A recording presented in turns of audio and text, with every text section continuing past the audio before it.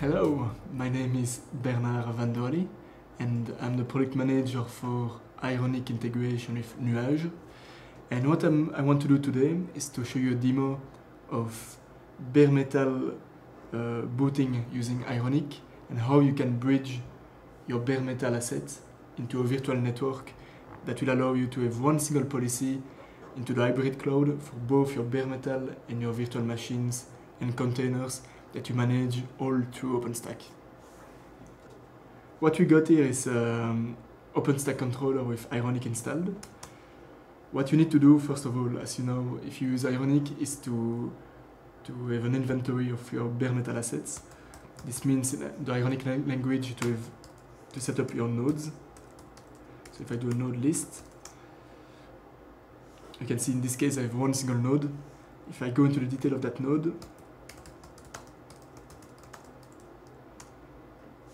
you can see this node is pre-configured to be booted using ILO. So even the we'll use ILO iSCSI as the, the driver. So we have the ILO password, ILO username and so on. If I go into my Ironic port list, and then if I show the detail of my port, you can see that in this case we added for the Nuage integration a couple of extra fields that allow you to define which port you use, which VLAN you use, and on which gateway the bare metal asset is connected. So in this specific case, we will use MC lag. So this means that your bare metal asset is connected through multi-chassis lag into two different VSGs. And this will allow you to provide link redundancy in case one of your two links goes down. So if I move to the Nuage VSD, which is the management plane in which you define all your virtual policies, and if I go to my Ironic configuration, you can see that we have an Ironic provisioning subnet. This subnet is also into Neutron. Here it is. Subnet list. Ironic provisioning. And into that Ironic provisioning subnet, what you got is Ironic conductor and each bare metal asset which is initially connected into that Ironic provisioning network.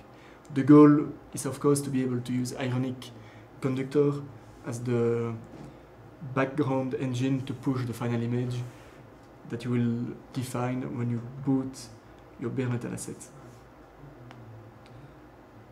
If we, if we look into Nuage on the gateway side, if I go into the infrastructure, and then I go into gateways, we have multiple standalone gateways. And then what you can do is you can create a redundancy group made of two standalone gateways. And that redundancy group is an MC-lag group, so you link two VSG Nuage gateways together, and you can create a virtual port, a lag port, which is basically two physical ports on each of the two standalone VSGs that you link together into a lag bond and that you connect on the same uh, bare metal asset on the other side, which in this case will be your Ironic blade.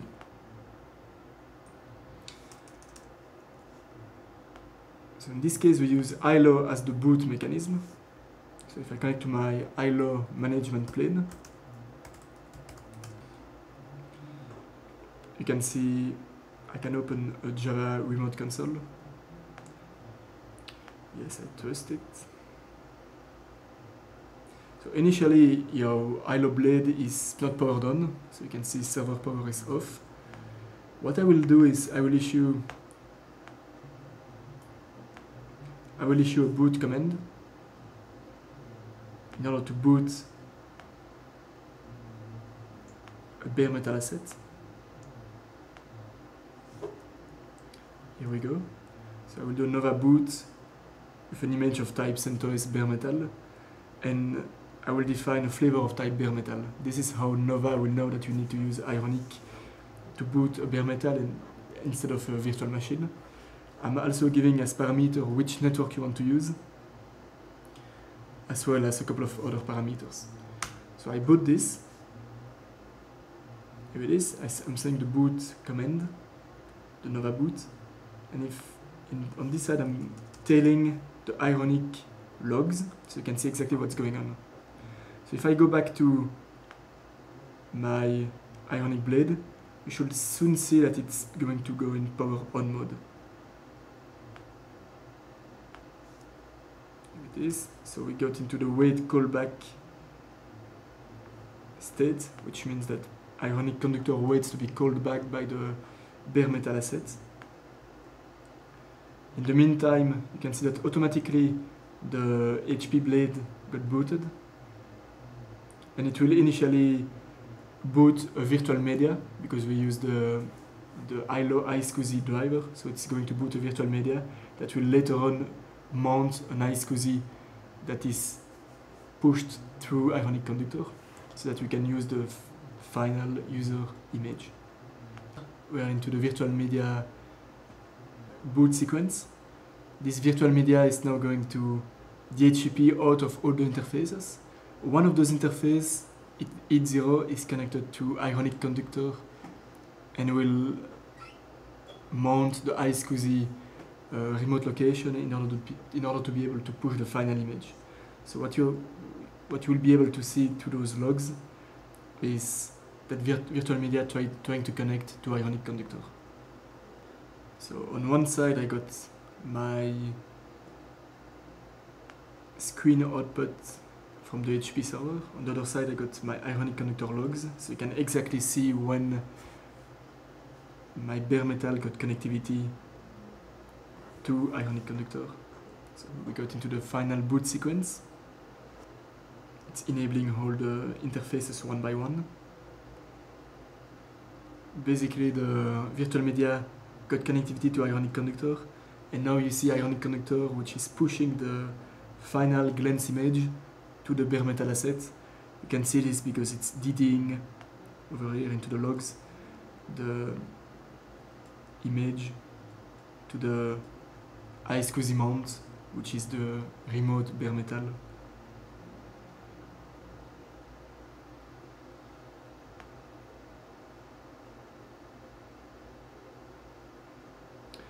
And here we are. So the the final image was successfully pushed and you can see that Ironic Conductor is now reconfiguring the gateway.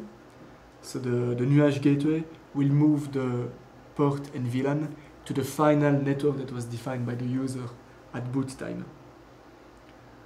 So if I go back to my VSD, what you will see now is that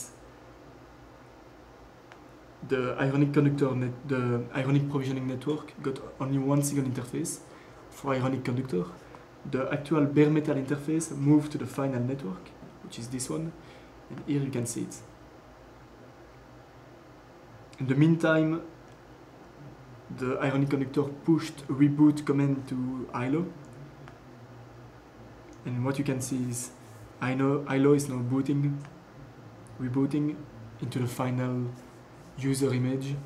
That's the final boot sequence, so we, we are now booting into CentOS 7, that was previously pushed to iSCSI. Um, what you can see now is that the bare metal got full connectivity to the final network. So once the boot sequence is finished, we should be able to just issue a ping to any virtual machine into the same subnet. Here we got Cloud init is up and running, we got all the information. I'm going to log in into the final image, stack, and what you can see is all my interfaces came up and the interface that is connected to Nuage which is this one got an IP address through Nuage through the Nuage policy tool. And if I go to my VSG in my VSD I can see that this IP address was indeed applied on that vport what you just saw is a, demo of Ironic a complete boot sequence using Ironic together with Nuage. This allows you to boot a bare metal asset and to bridge connectivity to the VSG or VSA gateway that Nuage can provide. Um, this allows you to have into the same network a bare metal asset and virtual machines or containers that you have somewhere else into your cloud. So one single tool, one single policy, both for your bare metal and your virtual machines. This is the true hybrid cloud.